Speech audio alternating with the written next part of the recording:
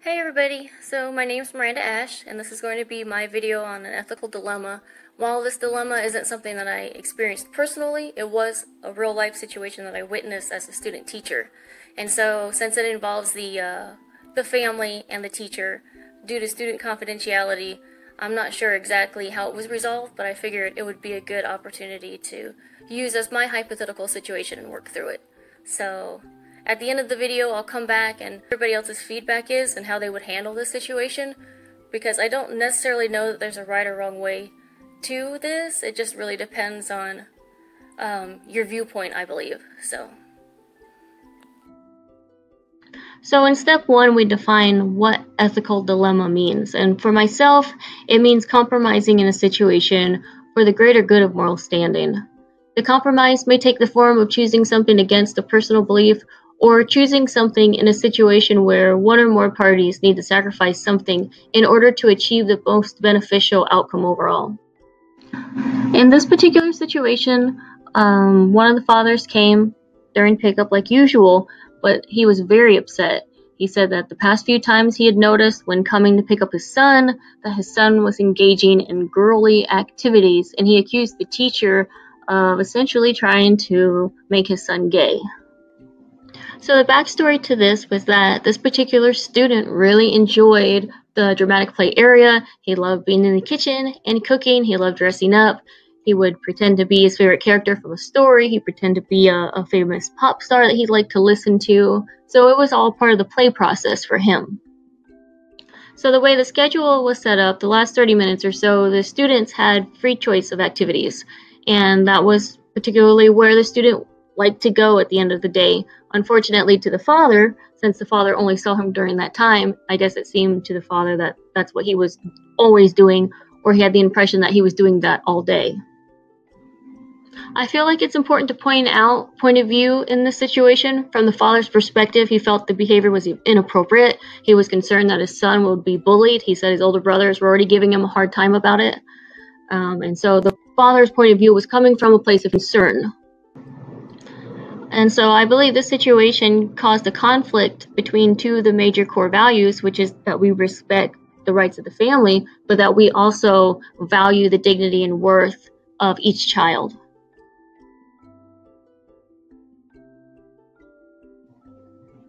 So, my process when looking at this was to address concern with sincerity, seek to understand the Look at both sides of the issue, consider the role of you as the teacher, refer to the code of ethics, reflect on practices and personal bias, and consider developmentally appropriate practice, and above all else, advocate for the student's best interest.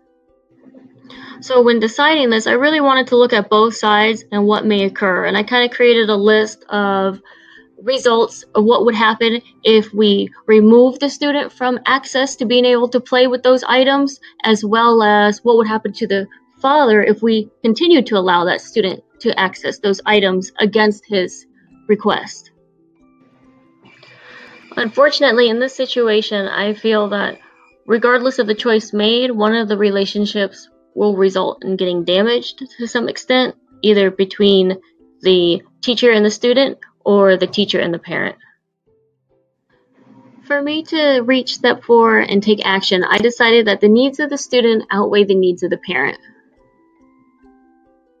In my decision, I did seek to find ways to compromise for both sides and feel it's perfectly reasonable to remove any unnecessary types of clothing that perpetuate a gender stereotype like Disney costumes and in replace of gender neutral ones that focus on real life careers. Um, there were Disney costumes in this particular classroom, um, and I feel like it's perfectly within reason that those aren't provided. That being said, I feel the student should have the right to continue to have the choice of how and where he plays during free activities. Kitchen theme and dramatic play area will remain as is and accessible to all students, and John will not be discriminated against for selecting any of the developmentally appropriate materials provided in the room. While John will be encouraged, he will not be prevented or forced from trying different activities. The decision that I came to is based on my study and understanding of developmentally appropriate practice, as well as how the Code of Ethics guided us. I've posted um, some of the ideals and principles that led me to this decision, as you'll see above and on the next slide. Amongst the ones that I've posted up here, it was Principle 1.3 that cemented my decision, which states we shall not participate in practices that discriminate against children by denying benefits, giving special advantages, or excluding them from programs or activities on the basis of their sex. So for me, that made it a non negotiable at that point.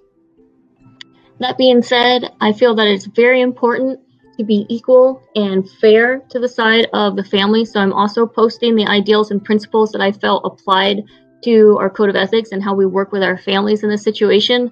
Um, ideal 2.6 really caused the biggest conflict for me when trying to decide what to do. And this really is just a tough situation because I feel for both sides. And if we follow the code of ethics as how it pertains to our families, it says that we have to respect the right to the ways that families want to raise their children. But in a situation like this, it directly affects the success of that child and that child's choices. So it's it's really tough. And so for step 4, reflecting, I think it's important to consider personal bias, the code of ethics, additional resources, which is why I'm about to share a video that I think is very important to this discussion. And remember the family involvement. And did I really engage with this family? Were they informed on the process of early childhood and what to expect before they enrolled their child? I think are some really important practices to look at moving forward. Part of the reflection process for me was to go back and review previous literature and seek out additional sources um, to self educate myself as well as to kind of gauge where my ideals align and how they fall in place with best practices. According to Vygotsky and Cole, children make sense of the world around them through imagination, play, observation, imitating, and relating to one another as well as adults. So, creating a learning environment that encourages healthy gender development is part of that process. According to the American Psychological Association, children do not have the understanding of how their choices may be commonly associated with one gender or another. From a teacher point of view, these kinds of choices are part of healthy child development. This is how children express their developing sense of self.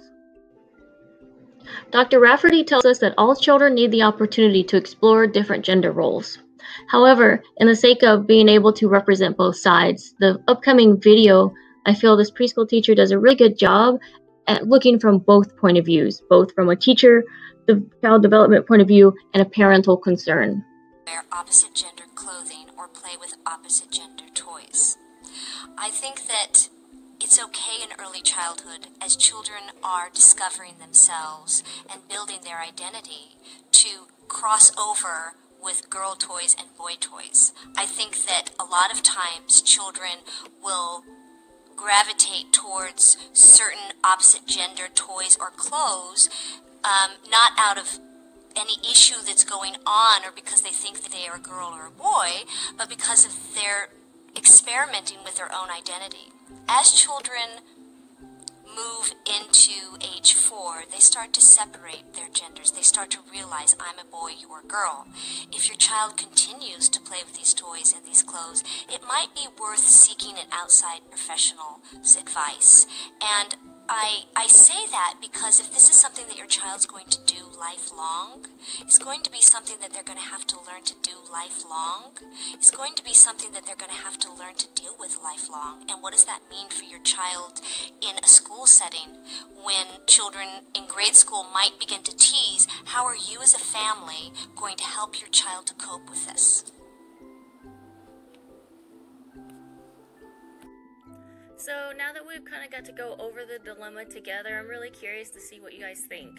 And if anybody would have done it differently or have any other suggestions, because it is a real uh, sensitive topic, I feel.